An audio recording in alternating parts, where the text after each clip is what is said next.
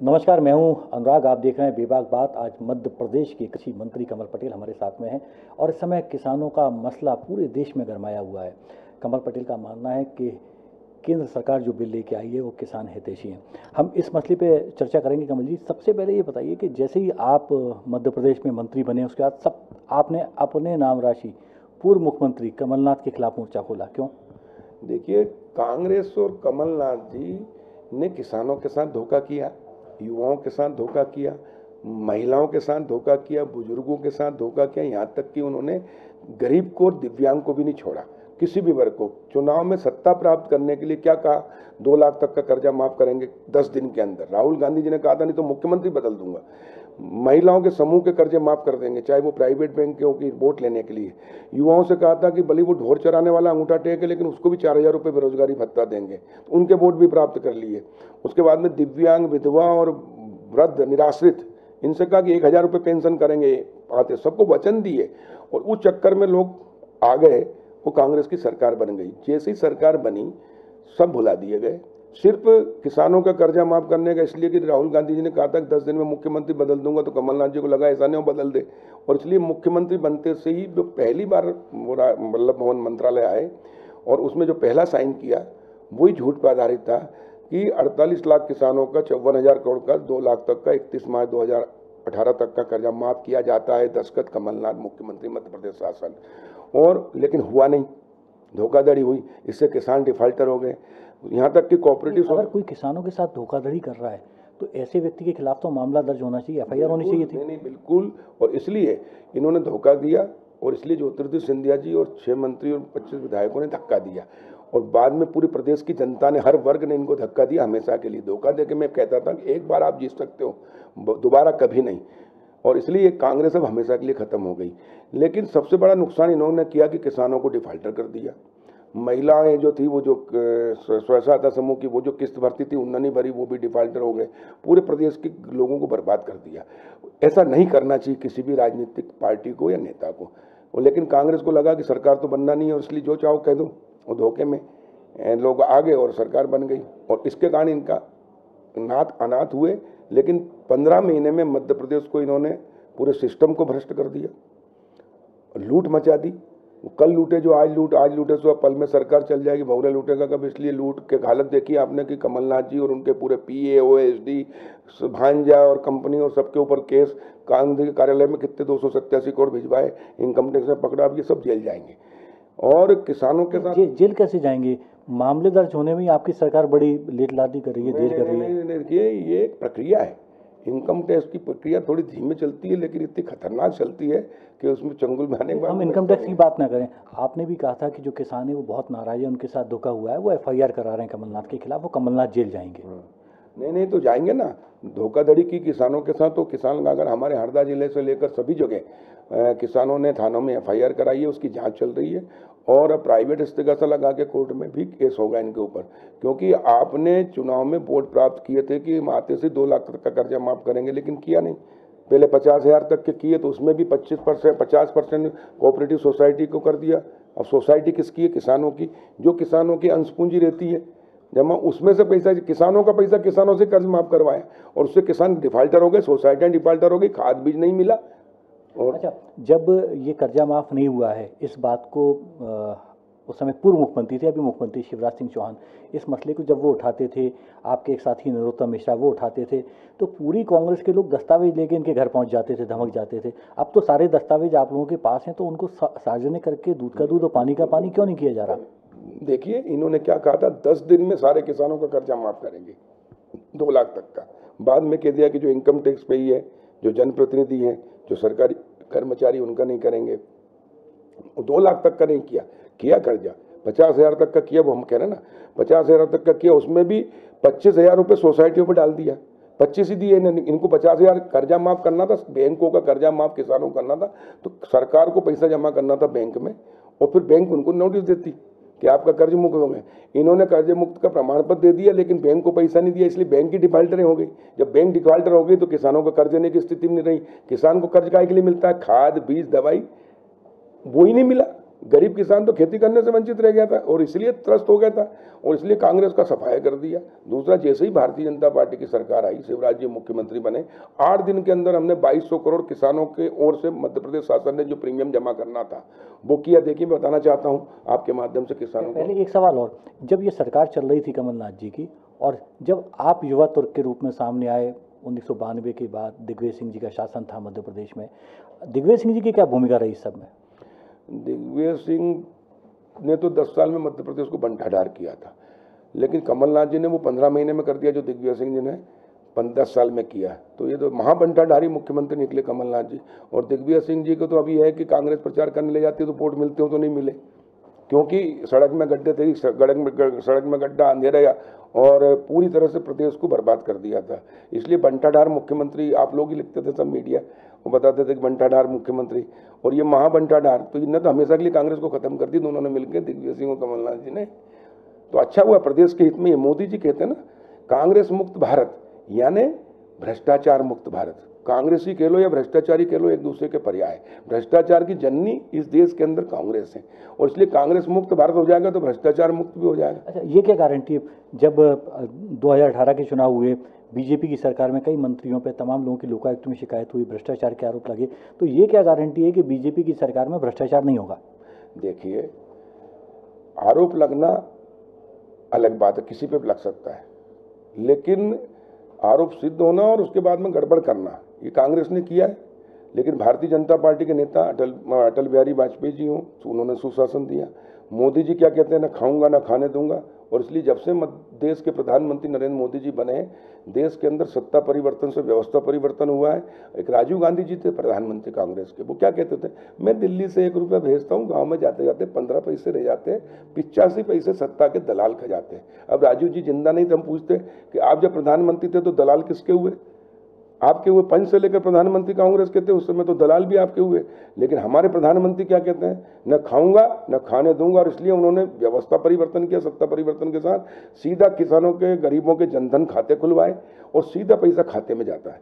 और इसलिए एक रुपये का भी भ्रष्टाचार नहीं हुआ, हज़ारों करोड़ रुपये प्रधानमंत्री आवास योजना में आए। लेकिन सीधे किसानों के खातों में गए गरीबों के खातों में गए, पहली किस्त चालीस हज़ार, सीधे गए, प्लिन तक बनाओ और फ़ोटो खींच के भेजो तो दूसरी किस्त डलेगी, फिर तीसरी, चौथी, इसलिए तीन करोड़ मकान बन गए, एक रुपए का नहीं, एक पैसे का भ्रष्टाचार नहीं हुआ। नहीं तो पहले क्या होता था कांग्रेस के शासन में? दिल्ली में बजट पास होता था, वहाँ से फ़ोन आते थे प्रदेशों में कि पैसा इतना है, आप जिनको चाहिए पैसा दे जाओ और ले जाओ तो पाँच परसेंट वहाँ दे के आते थे। और फिर भोपाल आया तो भोपाल वाले जिलों में फ़ोन करते थे कि जो पैसा देगा उसको देंगे। फिर ज़िले वाला ब्लॉक में ब्लॉक वाला सरपंच और सरपंच जब पैसा दे के आता था तो गरीबों से लेता था। और इसलिए विकास नहीं हुआ भ्रष्टाचार हुआ। मोदी जी के इसमें टोटल व्यवस्था परिवर्तन कर दिया। कोई बिचौलिया नहीं कोई अधिकारी नहीं सीधे खातों में पैसा आ रहा है। डीबीटी कर दिए। अब अनुदान में सब टीबीटी होगी सीधे किसानों के खातों में आ रहा है। जो अधिकारी है उसके खाते में आ रहा है गरीब के खाते में आ रहा है। और इसलिए इन छह वर्षों इतना इतना छह वर्षों के अंदर परिवर्तन आया और देश बदल रहा और आगे बढ़ रहा है। और इसलिए प्रधानमंत्री आवास हो गए, तीन करोड़। शौचालय बन गए, करोड़ों। स्वच्छ हो गया। और उसके बाद गैस टंकी चूल्हा दे दिए, साढ़े नौ करोड़ निःशुल्क। और इसके लिए विकास दिख रहा है। और हर घर नल जल योजना आ रही है। सारी योजनाओं में पारदर्शिता है और लेकिन उसके बावजूद भी सिस्टम, चूँकि पुराना गड़बड़ था, सिस्टम में गड़बड़ियाँ हैं तो हम उनको पकड़ते हैं और कार्रवाई करते हैं। कल ही देखो आपने भोपाल में इतना बड़ा ड्रग माफिया पकड़े हैं कितने बड़े बड़े सफ़ेद पोस्टों को। करोड़ों रुपए की जो नशीली दवाइयाँ वो पकड़ी है एक गैंग पकड़ी है। तो ये कार्रवाई हो रही है ना? एक एक इसी बीच में मध्य प्रदेश ने अभी लव जिहाद को लेकर कानून बनाया। अलग अलग किस्म से लव जिहाद चल रहा है। कहीं जिम के ज़रिए चल रहा है कहीं धार्मिक संस्थानों के ज़रिए चल रहा है। तो इस सबको कैसे रोक पाएँगे? जो कानून बना है बिल्कुल फुल प्रूफ है ये। बिल्कुल। इसमें जो षडयंत्र करके और बेटियों को जाल में, चंगुल में फंसा कर और फिर लव जिहाद के माध्यम से शादी करते हैं, बच्चे पैदा करते हैं और उसके बाद में फिर उसको तलाक दे देते हैं या छोड़ देते हैं। और उसके कारण वो बेटी का, वो बहन का जीवन बर्बाद हो जाता है। दूसरा जो बच्चा पैदा होता है, वो जिस धर्म का होता है, उसका होता है। वो वो लावारिस हो जाता है। और इसलिए देश के अंदर बहुत अव्यवस्थाएँ थी और जो गड़बड़ियाँ थी और जो षडयंत्र उसको बेनकाब करने के लिए उस पर अंकुश लगाने के लिए बेटियों को सुरक्षित रखने के लिए हमारी बहनों को सुरक्षित रखने के लिए ये कानून माननीय मुख्यमंत्री शिवराज जी के नेतृत्व हमारी सरकार लेकर आई है। इससे जो दोषी होगा उसके खिलाफ कार्रवाई होगी। और अब इस प्रकार के लव जिहाद और प्रेम में फंसाकर जो शादी कर लेते बाद में तलाक दे देते हैं आप इस इस इस इस, इस मुसीबत पे आप रोक लगाएँगे इतने में पत्थरबाजियाँ शुरू हो गई मध्य प्रदेश में जगह जगह पत्थरबाजों के खिलाफ भी कार्रवाई कर रहे हैं, चाहे वो कोई भी हो, जो सरकारी संपत्ति को क्षति पहुंचाएगा या किसी की व्यक्तिगत संपत्ति को भी क्षति पहुंचाएगा, उसके खिलाफ कार्रवाई होगी, उसको चिन्हित किया जाएगा, आजकल सीसी कैमरे लगे सब जगह, और जो दोषी होगा, उसके खिलाफ आपराधिक प्रकरण तो कायम होगा, लेकिन जो क्षति हुई है, उसकी पूर्ति, उसकी संपत्ति से कराएँगे, ताकि किसी की हिम्मत नहीं होगी। क्यों, अब लगेगा कि अगर किसी का तो नुकसान पहुँचा तो अपनी संपत्ति में से वसूल होकर जाएगा, और इसलिए इसमें भी कानून में संशोधन करना है। अच्छा पूरे देश में इस समय किसानों का बड़ा आंदोलन चल रहा है कि भारत सरकार जो तीन कृषि बिल लेके आई है, उससे तमाम किसान सहमत नहीं है। देखिए, इतना बड़ा देश है, लोकतांत्रिक देश है, इसमें कई विचारधारा हैं, कई पार्टियाँ हैं। अब बताइए, भारतीय जनता पार्टी की सरकार, मोदी जी ने जो काम किए हैं पाँच साल में, उसके कारण हम अपने बल पर दो सौ बहत्तर से दो सौ चौहत्तर से बढ़कर, दो सौ बयासी से बढ़कर हम तीन सौ तीन आए हैं। और अब जो गरीबों के लिए हमने कहा ना कि पचपन साल में कांग्रेस ने एक शौचालय नहीं बना पाई, एक पक्का मकान नहीं बना पाई, एक गैस टंकी चूल्हा गरीब को नहीं दे पाई, ना गाँव में किसानों को दे पाई न गाँव में शुद्ध पेयजल की व्यवस्था कर पाई, न एक किलोमीटर सड़क बना पाई। अटल बिहारी वाजपेयी जी जब प्रधानमंत्री बने तो प्रधानमंत्री ग्राम सड़कें बनी, जिससे 2000 आबादी 1500 हज़ार और 500 तक की आबादी बने। शिवराज सिंह जी मुख्यमंत्री बने तो मुख्यमंत्री सड़क योजना से 500 के नीचे के गाँव जो सौ तक के वो हमने जोड़ दिए। अब मुख्यमंत्री खेत सड़क योजना से किसान के खेतों तक की हम सड़कें बना रहे हैं। किसान क्रेडिट कार्ड योजना से जो साहूकारों के चंगुल से बचाया हमने, अठारह ब्याज लगता था कांग्रेस के शासन में, वो ज़ीरो किया और बल्कि माइनस कर दिया था शिवराज जी ने तो। किसानों के लिए सगे भाई से ज़्यादा अगर कोई मुख्यमंत्री है तो वो मध्य प्रदेश के मुख्यमंत्री शिवराज सिंह है। और दूसरा भारत सरकार ने मोदी जी ने अभी जो तीन कृषि कानून लाए संशोधन किए बहुत दिनों से इस पे हम चर्चा करेंगे। अभी कमल पटेल साहब कह रहे थे कि मुख्यमंत्री शिवराज सिंह चौहान जो है वो किसानों के एक भाई की भूमिका में है। कृषि मंत्री कमल पटेल खुद जब मौका मिलता है तब खेत में नज़र आते हैं अपने दफ्तर में नज़र आते हैं मंत्रालय में नज़र आते हैं। हर क्षण का वो सदुपयोग करते हैं। कमल पटेल साहब से चर्चा का ये दौर जारी रहेगा। फ़िलहाल लेते हैं एक छोटा सा ब्रेक।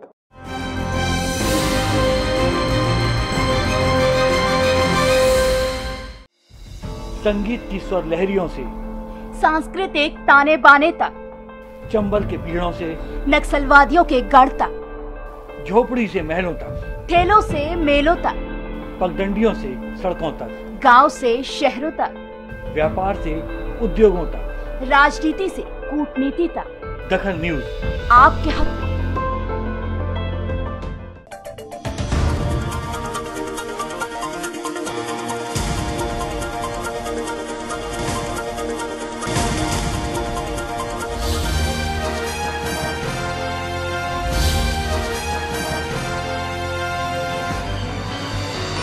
आप देख रहे हैं दखल न्यूज़। ब्रेक के बाद बेबाक बात में आपका स्वागत है। मैं अनुराग हूँ। मेरे साथ इस समय मध्य प्रदेश के कृषि मंत्री कमल पटेल साहब हैं। कमल पटेल साहब, हम बात कर रहे थे कि तीन कृषि कानूनों को लेकर बड़े भ्रम की स्थिति है। दिल्ली में लगभग जाम लगा हुआ है। 26 जनवरी को भी लोग जाम की बातें कर रहे हैं। और इस बीच मध्य प्रदेश से ही हैं नरेंद्र सिंह तोमर साहब, जो केंद्र में मंत्री हैं। और वो लगातार बातचीतों के दौर कर रहे हैं। लगता है कहीं हल निकलेगा। हम पूरी उम्मीद कर रहे हैं कि ये जो तीनों बिल हैं ये किसानों की तकदीर और तस्वीर बदलने वाले हैं। किसानों को घाटे की खेती से लाभ का धंधा बनाने वाले हैं। किसानों को इसको जोड़कर स्वामित्व योजना से भी जोड़ना होगा।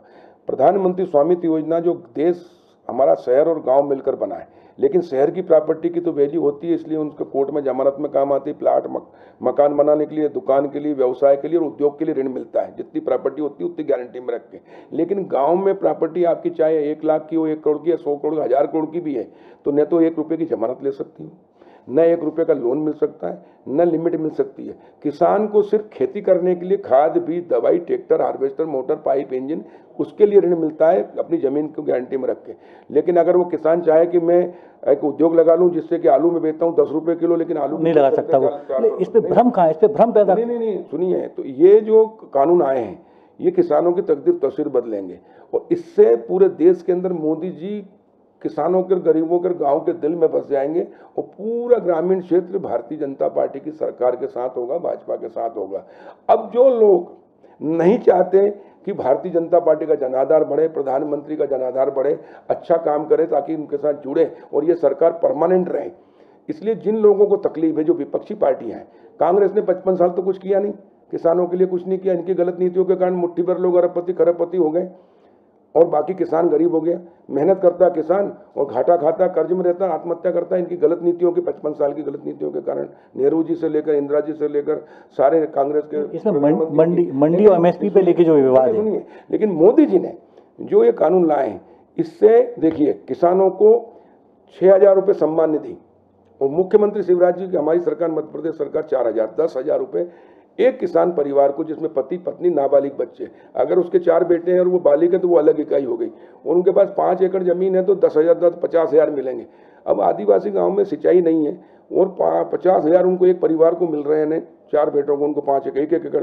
तो जीवन में उनकी इतनी फ़सल नहीं हुई कभी? कभी पचास हज़ार देखे नहीं उनको मिल रहा है। उससे वो, उनके जीवन में एक नई उत्साह आ गया। घाटे की खेती लाभ का होगी, खाद भी, दवाई का पैसा बचेगा। जितने की फ़सल नहीं होती, उतने मिल रहे हैं। कितने मिल रहे हैं? एक लाख करोड़ से अधिक मिला है। करोड़ों किसानों को। लेकिन ये, ये, ये देखो एक तो ये किसानों के हित में निर्णय हुआ दूसरा हो गया आबादी का मालिकाना स्वामित्व योजना जिससे गाँव के लोग अब उद्योग व्यवसाय व्यापार कर सकेंगे उन प्रॉपर्टी का मालिकाना मिलने से। अब गाँव के लोग भी धंधे पानी व्यवसाय में आए खेती जो घाटे की करते थे अब लाभ का धंधा बन जाएगी। तीसरा कृषि कानून से अब उनको कई विकल्प मिले हैं। अब मंडी भी रहेगी एमएसपी भी रहेगी। भ्रम इन्हीं दोनों पे चीज़ों भ्रम सबसे जा रहा है? कोई भ्रम नहीं है। हमारे प्रदेश के किसानों को हमने समझा पूरे किसान साथ आपने वो बिल पढ़ा है आपने उस बिल का अध्ययन किया बिल क्या कहता है कह रहा ना बिल ये कहता है एमएसपी भी रहेगी और चालू है छह महीने हो गए इस कानून को लागू हुए सरकार समर्थन मूल्य पर धान भी खरीद रही है अभी गेहूँ भी खरीदेंगे चना भी खरीदेंगे और मंडियाँ भी है मंडियाँ और अच्छी स्मार्ट बना रहे हैं बता रहा हूँ आगे आपको। लेकिन इससे विपक्ष विशेष करके कांग्रेस कम्युनिस्ट और विरोधी जितनी पार्टियाँ हैं पूरे सब एक हो गए और कुछ किसान संगठनों को आगे करके और भ्रमित करने का काम कर रहे हैं किसानों को, लेकिन ये सफल नहीं होंगे। पूरा देश का किसान मोदी जी के साथ, और ये जानते हैं कि ये लागू होकर ये हो गया तो आगे वाले चुनाव में ये गाँव में घुस नहीं सकते कांग्रेस। कांग्रेसी जनता और कांग्रेस के परिवार के लोग भी इनसे कहेंगे कि तुम लोगों ने अभी तक हमको गुलाम बनाया। हमारे बुज़ुर्गों ने जो आत्महत्या की, वो कांग्रेस की गलत नीतियों के कारण की। मोदी जी तो हमारे लिए भगवान है, किसानों के लिए वरदान है, और ये किसान की तकदीर तस्वीर बदलेगा, दशा और दिशा बदलेगा। मैं किसान हूँ। मेरे पास मैं जब पैदा हुआ, जब से 300 एकड़ ज़मीन है मेरे परिवार में। लेकिन हम एक वेयर हाउस नहीं बना पाए। क्यों? क्योंकि शहर में प्रॉपर्टी नहीं है। लेकिन अब गाँव की प्रॉपर्टी की वैल्यू होने से हमको अब खेती के साथ हम warehouse cold storage food processing plant डाल सकेंगे। और जो घाटे की खेती करते थे, वो लाभ की होगी। हमारे लगे खेती के साथ अब व्यापार, व्यवसाय, उद्योगपति बनेंगे और बिचौली अलग होंगे। देश के लोगों को भी उपभोक्ताओं को सस्ता मिलेगा। मैं बता रहा हूँ आपको उदाहरण। आलू की चिप्स दस रुपये किलो का, आलू चार रुपये किलो का, आलू चिप चार सौ रुपये किलो की।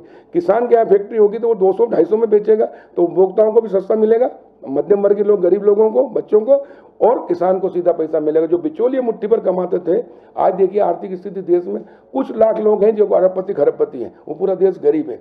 अब नए कानून से स्वामित्व योजना से तीनों कानून से अब गाँव गाँव में उद्योग और व्यापार व्यवसाय होगा warehouse cold storage food processing plant होंगे एक लाख करोड़ से अधिक की इसके साथ खराब हो जाती है हर साल मध्य प्रदेश में क्या कर रहे हैं अनाज अनाज सड़ जाता वो नहीं सड़ेगा। और इसलिए एक लाख करोड़ मोदी जी ने सिर्फ़ सिर्फ़ किसानों के लिए दिया है। ये पैसा किसानों को मिलेगा जिससे वो वेयर हाउस बनाएँगे कोल्ड स्टोरेज बनाएँगे फ़ूड प्रोसेसिंग प्लांट डालेंगे। 50 परसेंट चालीस परसेंट तैंतीस परसेंट पच्चीस परसेंट जो अनुदान मिलता सब्सिडी वो अभी तक मुट्ठी पर शहर के लोगों को मिलता था वो गाँव के लोगों को मिलेगा किसानों को मिलेगा। सब्सिडी कम, तो कमल जी बता रहे हैं। सब्सिडी का लाभ मिलेगा। मध्य प्रदेश के मुख्यमंत्री खुद को किसान पुत्र बताते हैं और खेती की किसानी से जुड़े हैं। कमल पटेल साहब भी खुद किसान हैं और एक कृषि नेता के रूप में आपकी पहचान रही है।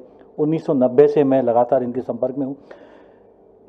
मध्य प्रदेश में क्या प्लान है आपका? कि क्या नया करना है इस कानून के बाद? नया ये कर रहे हैं कि मध्य प्रदेश में 313 ब्लॉक हैं।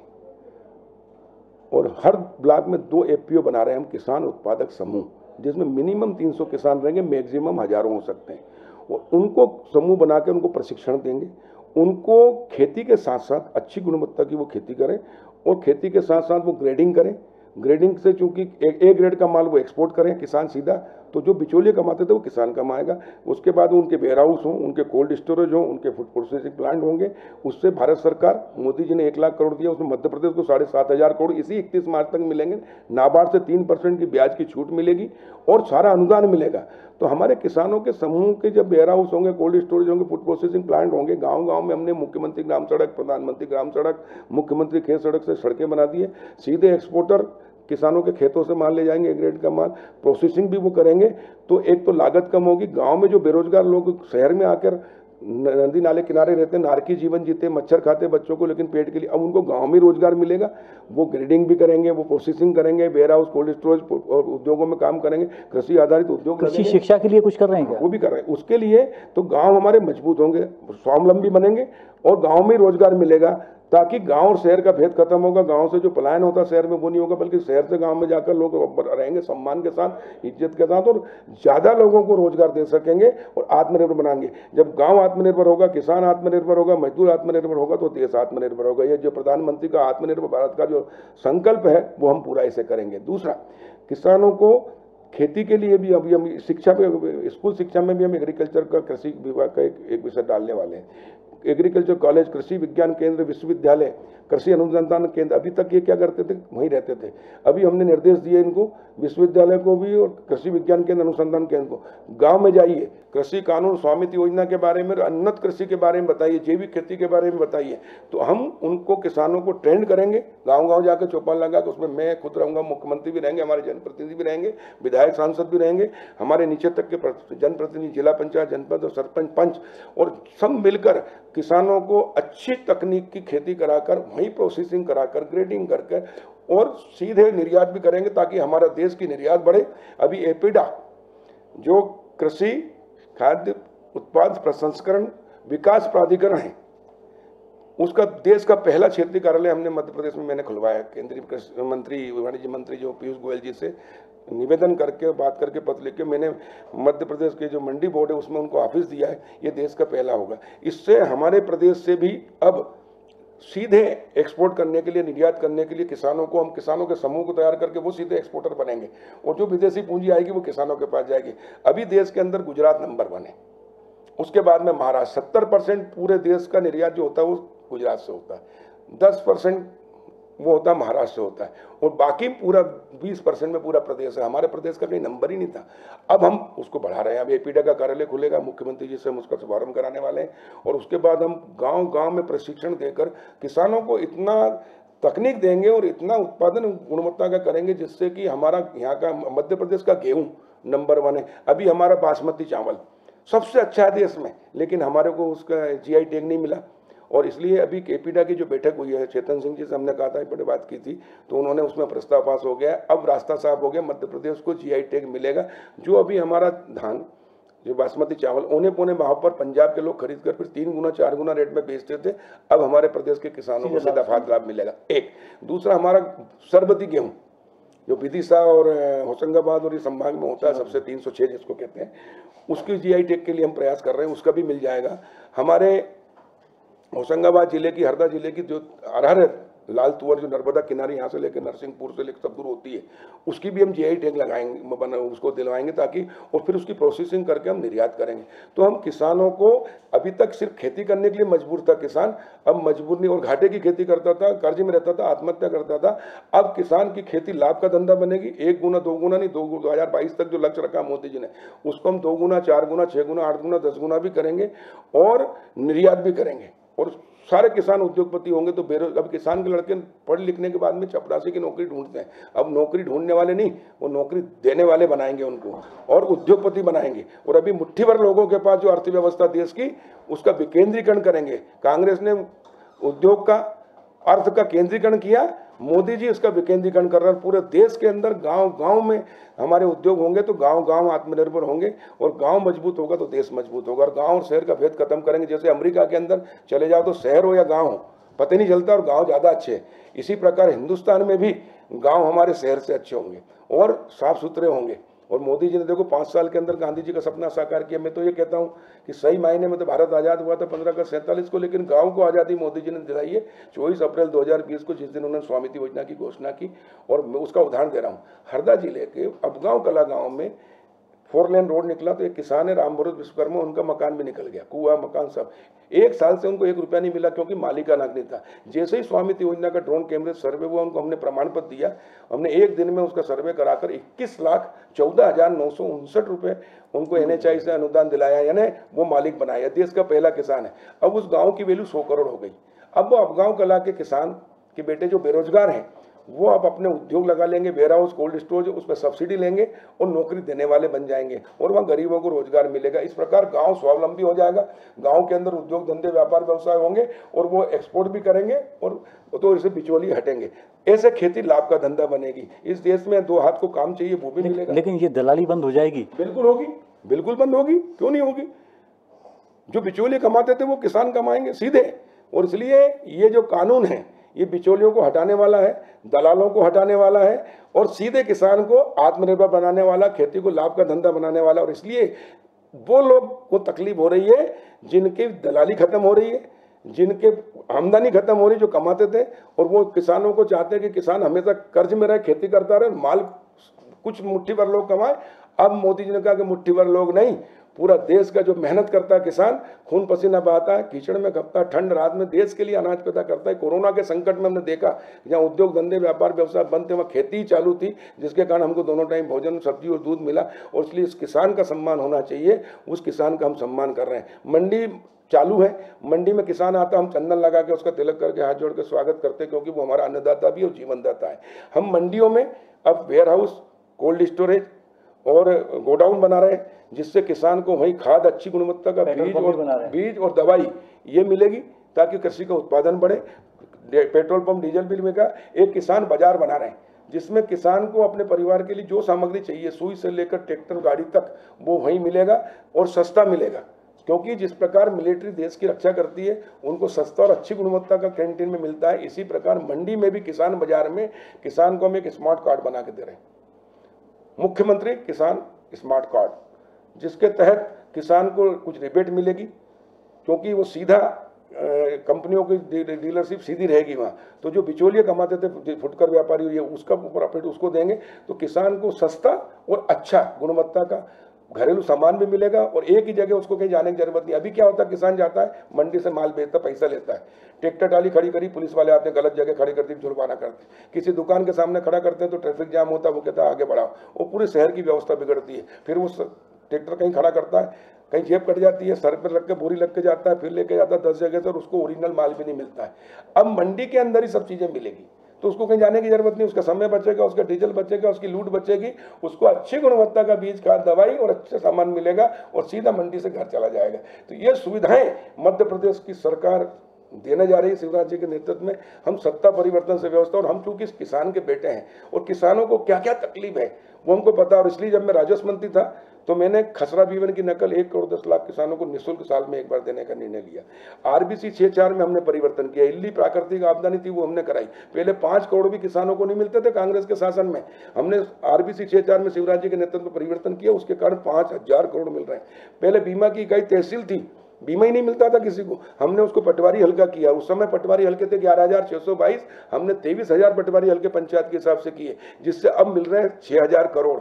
और इस बार मिलेंगे आठ हज़ार करोड़। हमने किसानों के हित में जब फ़सल खराब हो गई तो सबसे पहले मुख्यमंत्री जी और मैं, कृषि मंत्री के नाते, भोपाल जिला, सीहोर जिला, खंडवा जिला देवास जिला, हरदा जिला, सब जगह दौरे किए गाँव में। और अधिकारियों को निर्देश दिए कि किसानों की फ़सल खराब हुई है वीडियोग्राफी करके सर्वे करें, किसानों का पंचनामा बनाए दस्खत करें, एक काफ़ी सरपंच को तो उसके कारण चार हज़ार सात सौ करोड़ तो आरबीसी छह चार में, और बीमा की हमने जब फ़सल खराब हो गई, उसके बाद में तारीख बढ़ाई। एक महीना पूरे देश में इकतीस जुलाई लास्ट डेट थी, मध्य प्रदेश में इकतीस अगस्त की। रविवार के दिन हमने बैंक खुलवाई, पूरे नेशनलाइज बैंक। उससे किसानों का जो 25 लाख किसान रेगुलर थे, उन्हीं का बीमा हुआ था, लेकिन हमने 20 लाख किसानों का अतिरिक्त बीमा किया, फ़सल खराब होने के बाद किया, और वनवासी, वन ग्राम का कभी बीमा नहीं होता, क्योंकि उसके पटवारी हल्का नहीं होता था। और राजस्व ग्राम नहीं है। उनको हमने राजस्व ग्राम से पटवारी परिवर्तन आ गया। वन ग्रामों के वनों वनवासियों का भी बीमा कराया। उसके कारण पैंतालीस लाख किसानों को इस बार आठ हज़ार करोड़ बीमा मिलेगा। और बीमा की पॉलिसी से प्राइवेट कंपनियाँ भाग गई थी। कितने दिन में लाभ का धंधा हो जाएगी खेती अब मध्य प्रदेश में? एक साल के अंदर। शुरू हो गया। अभी 31 मार्च तक हम किसान को खेती के साथ साथ व्यापार, व्यवसाय, उद्योग के लिए ऋण देंगे, समूह बना कर कराएँगे। और इससे जैसे ही वो अपने प्रोसेसिंग करने लगेंगे तो दो गुना नहीं, चार गुना छः गुना, आठ गुना। मैं बताऊँ आपको, दस रुपये किलो में आलू खरीदता है और चार सौ रुपये किलो की चिप्स बना के बेचता तो चिप्स बनाने में कितना खर्चा आता है?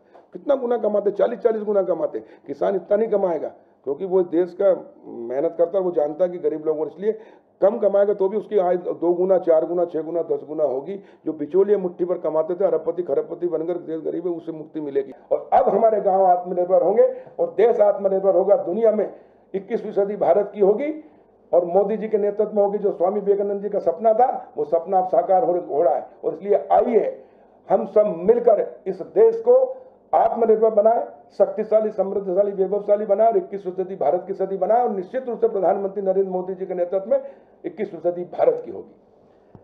आप सुन रहे थे मध्य प्रदेश के कृषि मंत्री कमल पटेल जी को। कमल पटेल जी का कहना है कि मध्य प्रदेश में कम से कम एक साल में खेती लाभ का धंधा हो जाएगी और जो केंद्र कृषि बिल लेके आया है, वो हर तरीके से किसानों के हित में है और इसके बाद किसान कभी भी कम से कम गरीब नहीं कहा जाएगा, किसान मजबूर नहीं कहा जाएगा, किसान भी देश के साथ आत्मनिर्भर होगा। विभाग बात में फ़िलहाल इतना ही। आप देखते रहिए दखन न्यूज़। नमस्कार।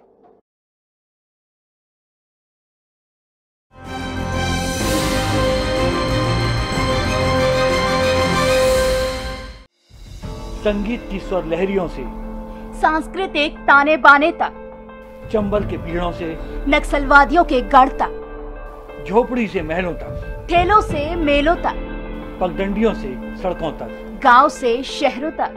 व्यापार से उद्योगों तक। राजनीति से कूटनीति तक। दखन न्यूज़। आपके हक। में